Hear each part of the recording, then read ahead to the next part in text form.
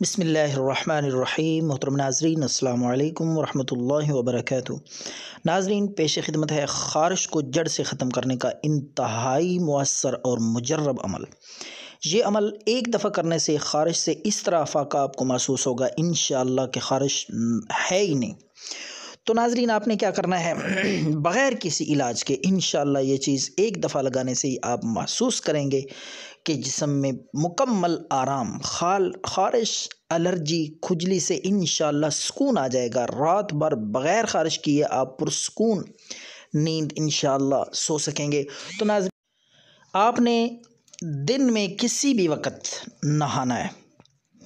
साबुन के साथ नहा के अच्छी तरह नहाने के बाद जब आप साबुन से नहा लें और साबन उतार दें तो आपने सरसों का तेल ले लेना है।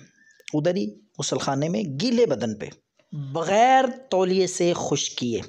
तो आपने हथेली पे थोड़ा सा सरसों का तेल, एक चम्मच की मकदार लेके आपने दोनों हाथों पे मल के पूरे जिसम पे, गर्दन से लेकर पाँव तक, जहाँ जहाँ ख़ारिश है, खुजली है, एलर्जी है तो वो तेल आपने लगा लेना है।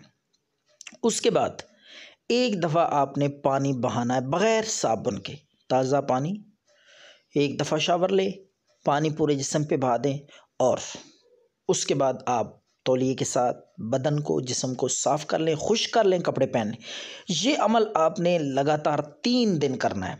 इसी तरीके से नहा के, उसके बाद तेल लगा के, सरसों का पूरे बदन पे जिस तरह मालिश करते हैं, एक या दो चम्मच जितनी ख़ारिश है उसके मुताबिक आपने बाजुओं पे, टांगों पे, कमर पे, पेट पे जहाँ जहाँ ख़ारिश है लगा तो इस तरीके से तेल लगा के पूरे बदन पे फिर दोबारा पानी बहा के आप जिसम खुश करके कपड़े पहन लें इन ख़ारिश बिल्कुल ख़त्म हो जाएगी। अल्लाह